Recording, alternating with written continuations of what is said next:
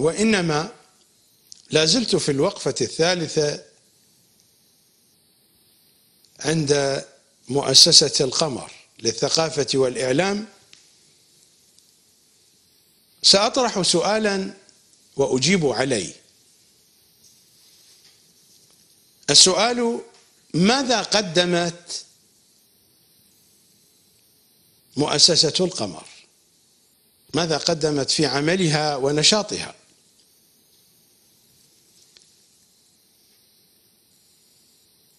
سأجيب على هذا السؤال.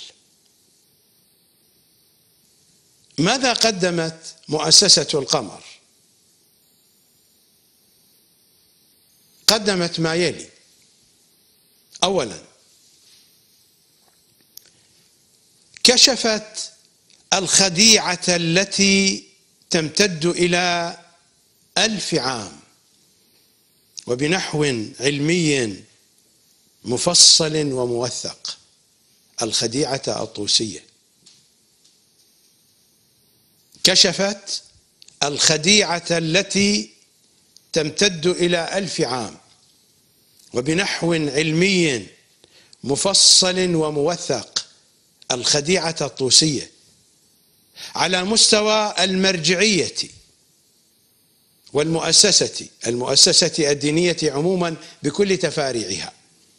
على مستوى المرجعية والمؤسسة والحوزة ومنهجها وبرامج التبليغ والأحزاب والاتجاهات الشيعية المختلفة مدارسا منهجية واحزابا سياسية وتجمعات طقوسية وغيرها.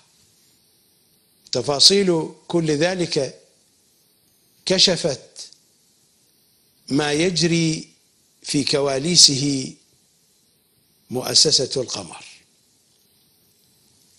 ثانيا تشخيص الطريق الشيعي وفقا لمنظومة بيعة الغدير الأول والثاني بالتوجه فقط في كل شيء إلى إمام زماننا.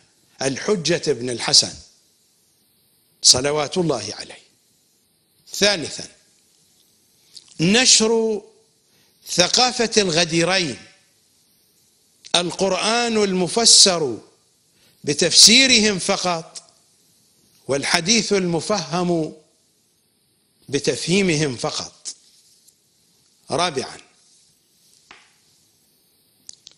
السعي في إيجاد نواه مكتبة شيعية نظيفة من قذارات السقيفتين. بني ساعدة وبني طوسي بحدود الممكن.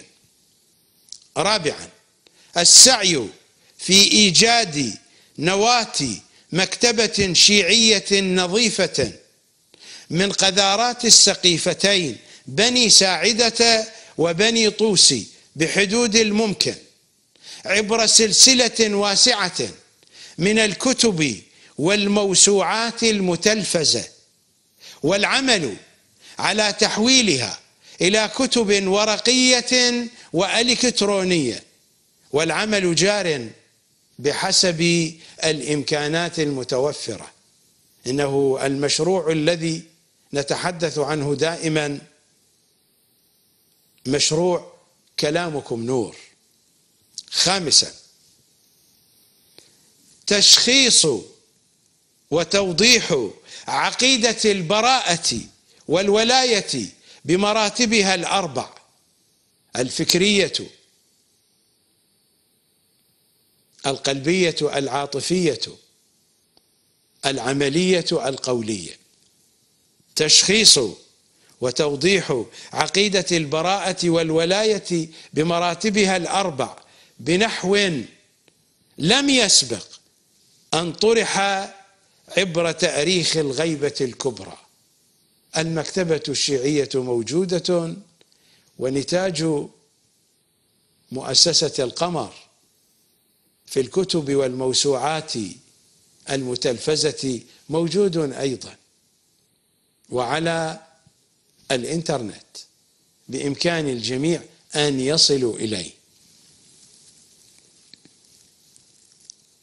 سادسا نشر الثقافة الزهرائية الأصيلة فيما يرتبط بمقامات الصديقة الكبرى الإلهية الغيبية وما يرتبط بإمامتها وأنها ثالث أئمة الأئمة صلوات الله عليهم جميعا وشؤون قيمومتها على الدين وأهل الدين وسائر تفاصيل مقام أمومتها الكلية وحجيتها الربانية المطلقة وما يرتبط بشأن ظلامتها وجريمة قتلها شخصا من قبل سقيفة بني ساعدة وقتلها شخصية من قبل سقيفة بني طوسي. لعن الله السقيفتين معا. سابعا تغيير المذاق العقائدي الثقافي الشيعي عبر نشر ثقافة التواصل مع حديث محمد وآل محمد وأدعيتهم. وزياراتهم. وقد صار هذا الأمر ملموسا يتحسسه المتابعون لمثل هذا الشأن. ثامنا إيجاد منظومة عقائدية متكاملة عبر كتب متلفزة من أهمها. مجموعة حلقات أعرف إمامك. مجموعة حلقات هذا هو الحسين وغير ذلك كثير وفير. تاسعا.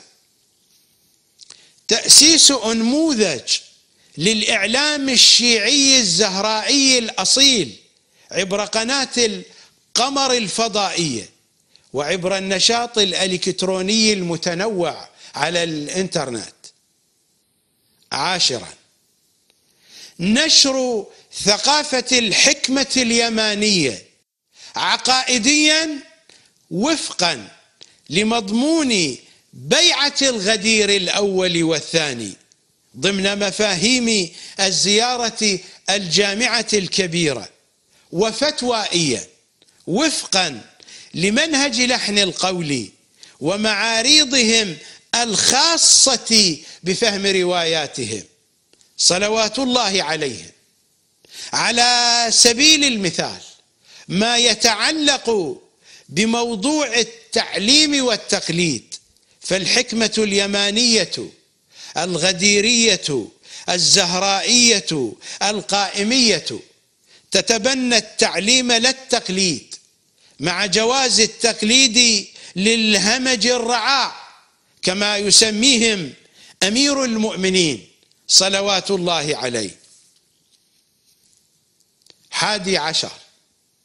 تصحيح العبادات التي أبطلها وأفسدها المنهج الطوسي الأصولي البتري وعلى رأسها الصلاة التي هي عمود الدين بوجوب ذكر الشهادة الثالثة في التشهد الوسطي والأخير وإلا فالصلاة باطلة فاسدة قذرة.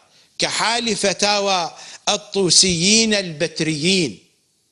وكذاك تصحيح الموقف اللصوصي الغادر من قبل مراجع النجف وكربلاء بخصوص فريضة الخمس. إذ استمر قطاع الطريق هؤلاء ولصوص المرجعية الشيعية بسرقة الخمس إلى يومنا هذا رغم أن الإمام الحجة صلوات الله عليه قد أباحه لشيعته وجعلهم منه في حل إلى وقت ظهوره الشريف والحكاية طويلة في مقام العبادات والأحكام الشرعية الأخرى. ثاني عشر. العمل على إيجاد رسالة عملية زهرائية موجزة متلفزة. وفقا لمنهج الغديرين منهج العترة الطاهرة صلوات الله عليها. ثالث عشر. مواجهة التيارات المنحرفة عن منهج علي وآل علي صلوات الله عليهم كالخطابية والنصيرية والقطبية والمرجئية البترية عبر التلفزيون والإنترنت والندوات المفتوحة والتبليغ المباشر في العديد من البلدان المختلفة. رابع عشر. جمع حصاد كل الجهود والنشاطات المتقدمة الذكر. رابع عشر. جمع حصاد كل الجهود والنشاطات المتقدمة الذكر في وعاء عملي وفكري واحد وصب ذلك في مجرى التمهيد للمشروع المهدوي الأعظم. خامس عشر. نحن مستمرون ولن نتوقف. إن شاء الله تعالى. بتوفيق صاحب الأمر صلوات الله عليه. زهرائيون نحن زهرائيون نحن والهوى والهوى زهرائي. ميثاق عمل مؤسسة القمر للثقافة والإعلام تطبيقه العملي بحدود ما نتمكن في هذا العرض الواقعي والدقيق جدا فيما قدمته مؤسسة القمر للثقافة والإعلام هي لا تتفضل على أحد بشيء هذا فضل صاحب الأمر عليها إنها تؤدي واجبها. في الوقفة الرابعة أسألكم أنتم ماذا قدمتم؟ لا أقول ماذا قدمتم لمؤسسة القمر. ماذا قدمتم لأنفسكم؟ نحن حينما نقدم شيئا في خدمة إمام زماننا إمام زماننا ليس بحاجة لهذا. إنها خدمة لأنفسنا. هذه رحمة إمام زماننا. خدمته خدمة لأنفسنا. وعن هذا سألتكم